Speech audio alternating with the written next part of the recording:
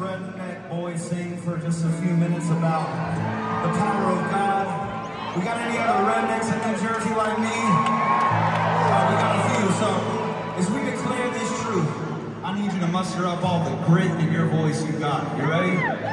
Because I know anything is possible. Anything is possible with our God.